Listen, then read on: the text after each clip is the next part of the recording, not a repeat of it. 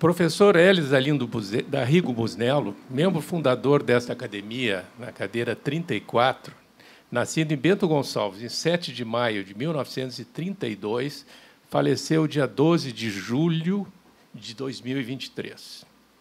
Filho de João Antônio Busnello e Alinda da Rigo Busnello, é, Busnello falava um sotaque que revelava sua herança italiana, uma linhagem que começou em diferentes localidades, do, especialmente no norte da Itália. Jacobo Busnello, seu avô paterno, veio de Pederoba, no Treviso, no Vêneto. Luigi Crivello, avó paterna de Bassano, Padova, também no Vêneto. Luigi D'Arrigo e Beatrice Alegretti, de Reggio Emília, em Emília-Romanha é, e a Linda, sua mãe, de Pisa, na Toscana. João Antônio já foi nascido em Bento Gonçalves. Busnello sempre valorizou e celebrou essa herança ao longo da sua vida, com um carisma e um comportamento de um gentleman refinado, que era revelado num discurso, maneira de se expressar e de se vestir, de citar e revelar conhecimento tanto em ciências, arte, sem buscar abafar o seu sotaque do Vêneto. Aos três anos, se alfabetizou, com um apetite grande por literatura e que era lembrado todos que o conheceram na, naquela época, e que alimentou uma mente expandiu a paixão por artes, além de literatura, música e ópera, que o levava a programar viagens temáticas é, e não perdia uma temporada de ópera. Dominava diferentes línguas e, com amigos e ex-alunos de vários países, é, não só viajava, como estimulava todos a viajar e buscar conhecimento e buscar contato com locais de qualquer lugar do mundo. Para ele não havia esse limite. Em Bento Gonçalves, cursou o ginásio municipal de Nossa Senhora Aparecida. É uma foto de início do século XX. E depois, em 1947, o curso científico do Colégio Estadual Júlio de Castilhos, em Porto Alegre. São os pais no casamento e conseguiu um bilhete do seu nascimento, o anúncio do nascimento. Ele e sua irmã, já falecida, e acho que é o João Vicente. Tá? é, em 1953 até 1900, em 1950 foi aprovado aquele no, no colégio, vocês podem ver ao lado do padre aí, aí com os dois filhos aqui como é Virgínia. E uh, eu dividi, porque é uma sequência bastante grande, dividi assim, em duas grandes etapas da vida. Teve a etapa de formação, depois duas de produção científica que o justificam a sua inclusão uh, na academia. É, em 1950, foi aprovado no vestibular para duas faculdades, Medicina e História Natural, e que cursou em paralelo, é, não chegou a concluir História Natural, mas cursou por um tempo. De 53 a 55, eh, foi doutorando de clínica médica na enfermaria 28 eh, e na enfermaria 31, 28 de urologia e 31 de obstetrícia na maternidade Santa Casa e também no setor de emergências. Formado em medicina em 1955, eh, foi também médico do HPS de urgência em neuropsiquiatria.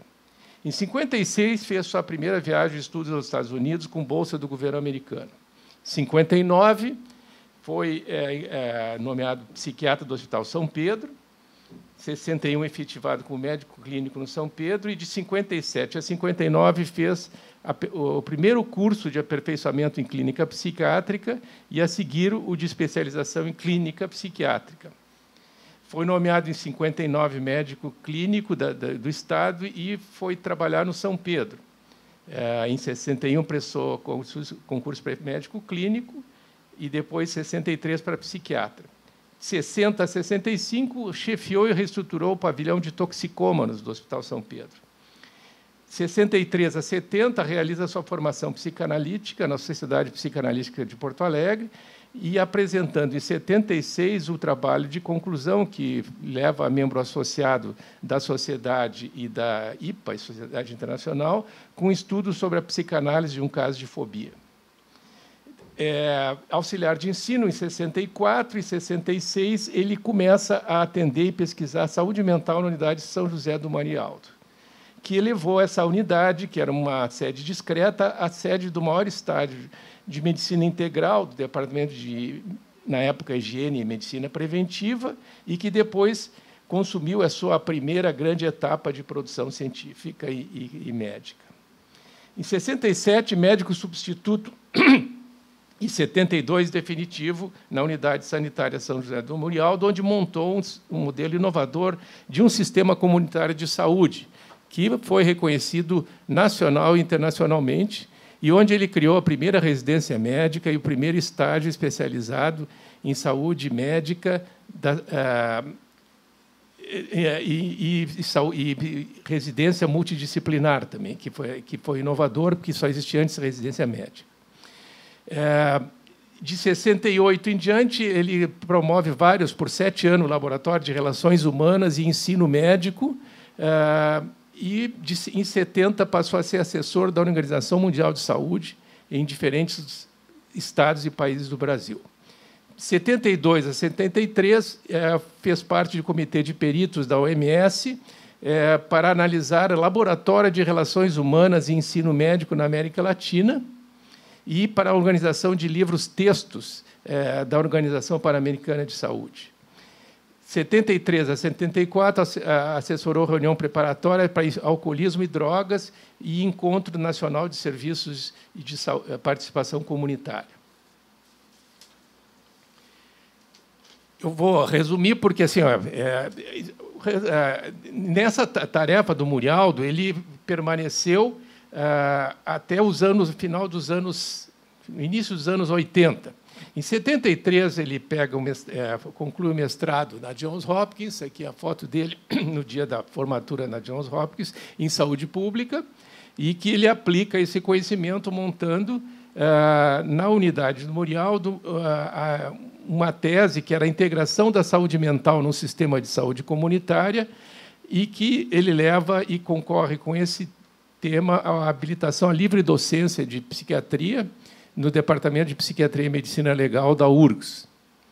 É, em 78, o Murialdo é indicado como o quinto centro de estudos para a extensão de serviços psiquiátricos no mundo em desenvolvimento Uh, e recebe do governo do Estado do Rio Grande do Sul voto de louvor pelo relevante serviço à causa pública. Em 80, é empossado membro da Academia de, Nacional de Medicina pelo apreço à sua obra uh, desenvolvida no Murialdo, e uh, que segue dessa obra, levando depois ao registro de chamados problemas de saúde triaxial, onde se registrava problemas físicos, psicológicos e sociais, e onde é montada a primeira residência médica em saúde comunitária no Brasil. É, em 82 passa a assessorar serviços de prestação de, serviço, de saúde e pesquisa, é, onde ficou o primeiro modelo experimental do saúde, sistema de saúde comunitária, primeiro modelo de residência e estágio para médico geral comunitário, e de médicos eh, e para especialistas não médicos em medicina comunitária e fundador da Sociedade Brasileira de Médicos Gerais Comunitários. Perdão. É, em, sendo aqui culminando em 83 é, a criação da residência multidisciplinar de saúde mental.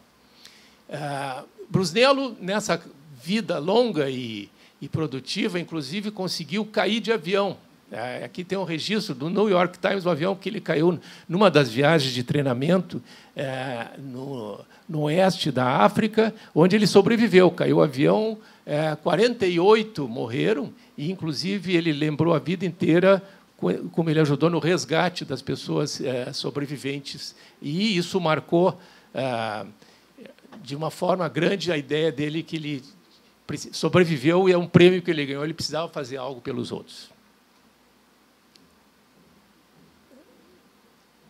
que nos 80, ele nos legou também um neto colorado que agrada a muitos, eventualmente vai desagradar a alguns. Tá?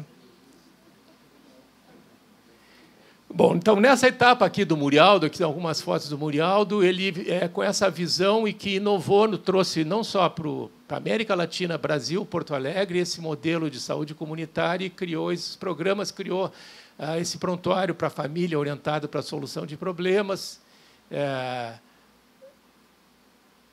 esse, montou esse programa de residência junto com Carlos Grossman, Isaac Levinho, Sérgio Ruschel. Tá?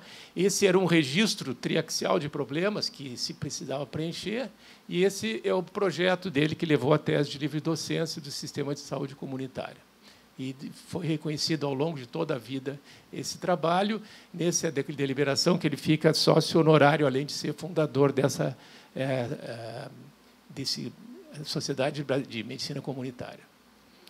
Nessa segunda, então, ele, como não fosse suficiente, ele passa a uma segunda etapa é, da vida, que isso já estava montado, ele passa a ser um dos criadores é, do, do sistema de pós-graduação da nossa universidade, participando da fundação e foi seu terceiro coordenador, depois do Jorge Grossi e da Helena Schmidt.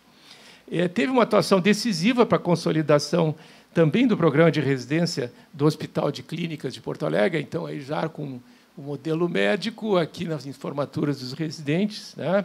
É, tendo um, é, depois de titular, é, concorreu para professor titular na Universidade Federal de Ciências Médicas, onde montou e estruturou o programa de residência no Hospital Presidente Vargas, com um faro apurado para identificar e recrutar uma geração nova de médicos que segue hoje no hospital. Então, desses anos 80, ele seguiu como docente e coordenador em cursos de graduação, de pós-graduação, de especialização, de aperfeiçoamento na URGS, na Fundação eh, Ciências Médicas, e também eh, assessorou a montagem de programas no Paraná, Santa Maria, Rio de Janeiro e Passo Fundo, e seguiu formando pessoas ligadas à Secretaria de, de Educação e Cultura e Segurança Pública, AMRIGS, participou de, de exame AMRIGS, de comissão de planejamento do ciclo básico, de reforma de currículo. Ah, e, em reconhecimento às contribuições, recebeu muitos prêmios, incluindo o prêmio Ted Kennedy da Johns Hopkins University, e foi membro honorário da Academia Nacional de Medicina. Com um espírito indomável, né, se diria até visionário, e mentor às vezes inquietante, porque ele não tinha hora para terminar. Eu, no meu doutorado, eu ia, era uma da manhã, ele queria seguir discutindo o assunto. Eu digo, professor, nós estamos terça-feira, amanhã nós temos que trabalhar. Ele não, não tinha sono. Né? Ah, e tinha uma visão ah, de busca de excelência em medicina e, dentro da excelência, da psiquiatria e da saúde mental. Ele costumava dizer é, preocupado com o final da existência, que ele estava, uma maneira de sobreviver era plantar carvalhos. Ele plante carvalhos que tu vai durar muito, vai esperar eles ver eles crescendo. Ele se definia como sonhador e ainda sonha e em vida conseguiu ver concretizados vários deles, é, tanto na então nessa primeira etapa na área de saúde é, comunitária, é, como numa segunda etapa na formação de, de, de médicos e de especialistas em, nas áreas de saúde, é, seja em graduação, pós-graduação, senso estrito e senso lato.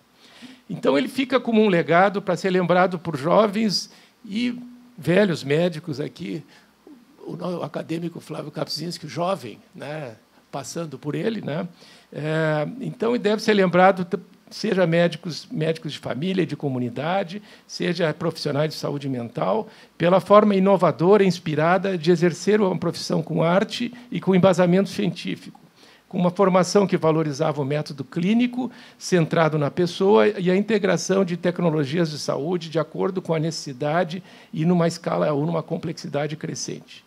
Valorizava a escuta ativa de problemas do paciente e implementava ações para manejar determinantes biológicos, psicológicos e sociais das doenças. Como produto final, formou recursos humanos com foco na pessoa e plantou carvalhos que seguirão centenários em saúde pública, neurociência e ensino médico.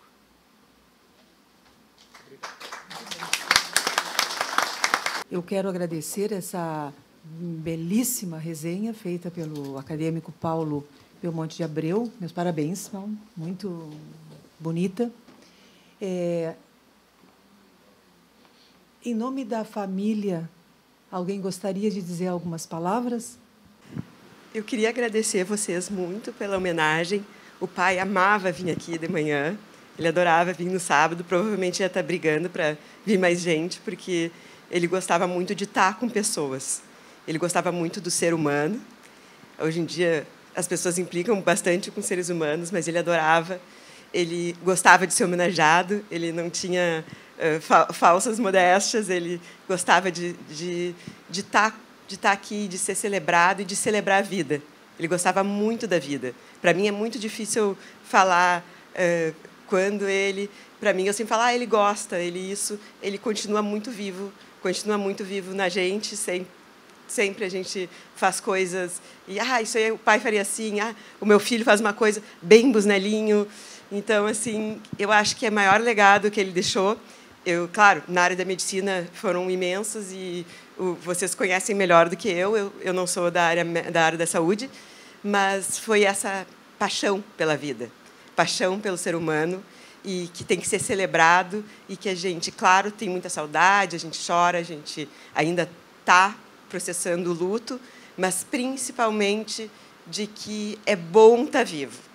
É bom estar tá vivo e essa coisa que o Paulo falou que ele adorava dizer, plantem carvalhos, em breve terás árvores centenárias. Então a gente tem que estar vivo, fazendo coisas, porque o que vai ficar é o nosso legado, né? Mais cedo ou mais tarde a gente vai partir.